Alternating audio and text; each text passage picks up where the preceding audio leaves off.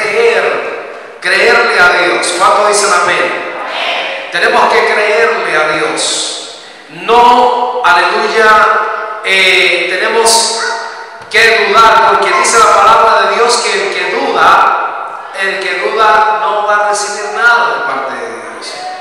Y ese es, ese es el reto que tiene la iglesia de Jesucristo, amén, porque Cristo eh, planeó, Él estratégicamente dijo que todo este caminar del Evangelio va a ser por medio de la fe. Dice que es por fe, hermanos, y el fe es creer en Dios. Amén.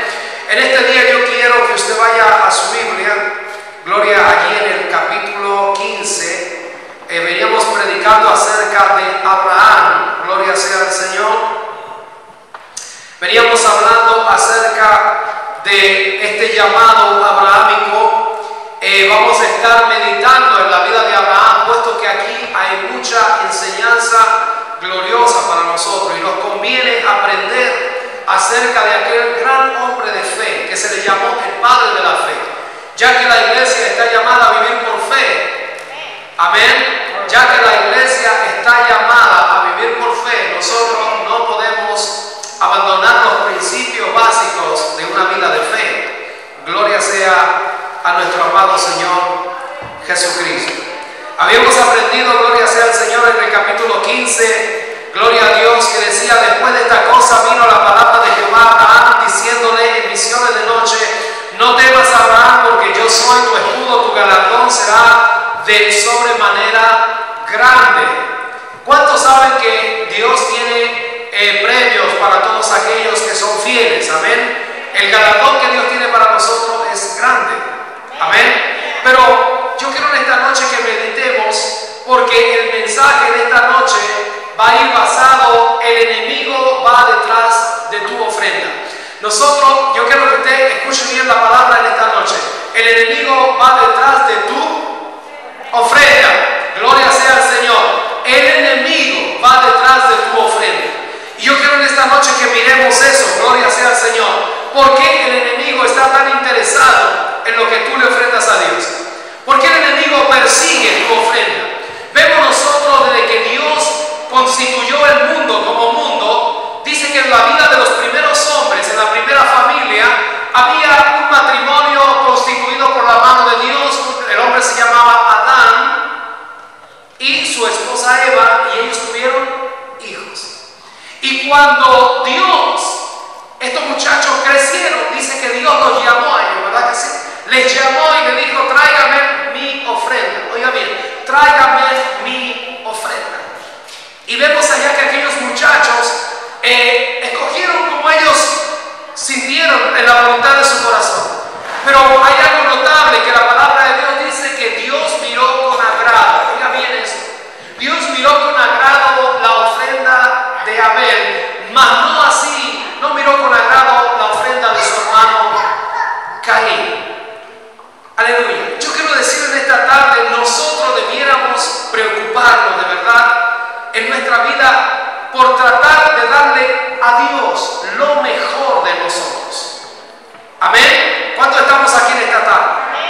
Dígale al que está a su lado, tenemos que esforzarnos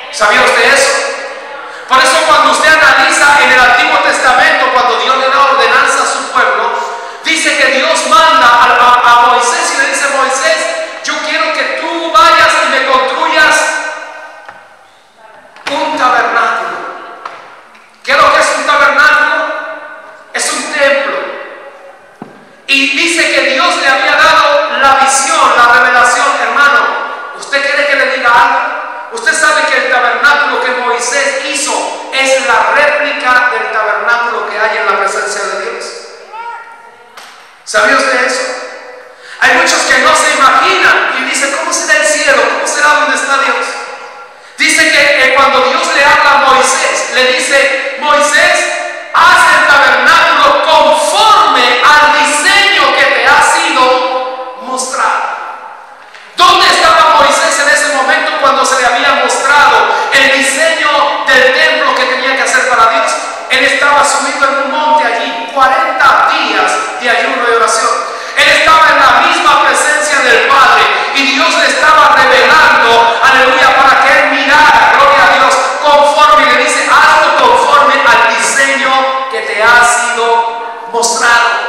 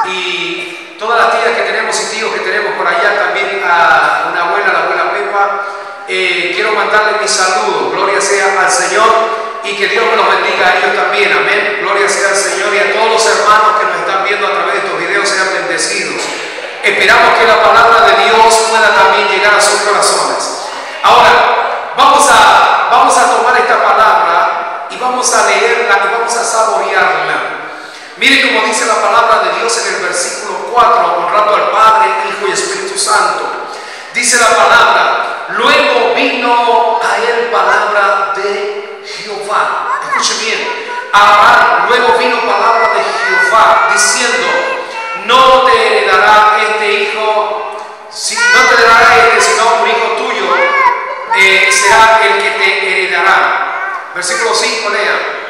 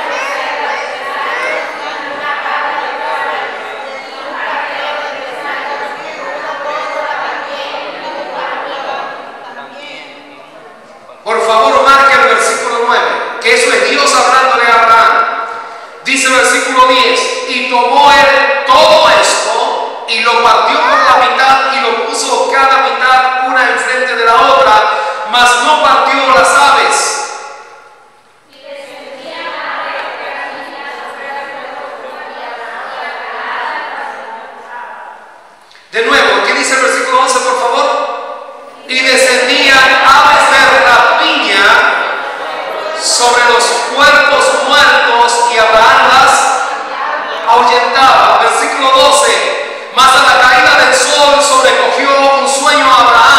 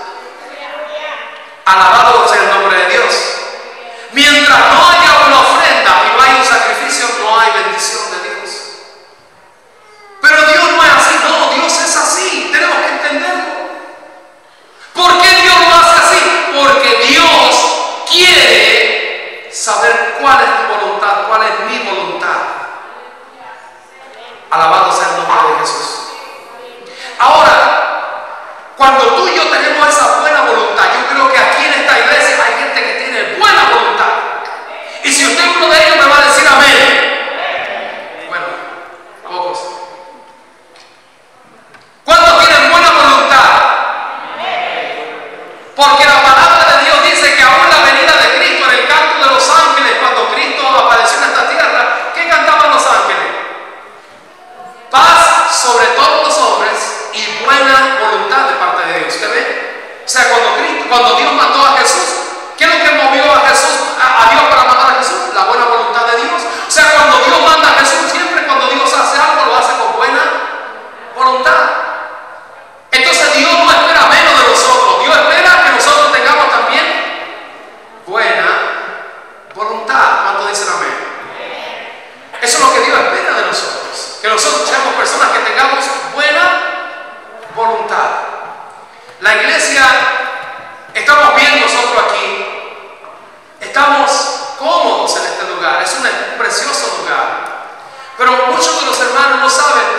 tipo, eh,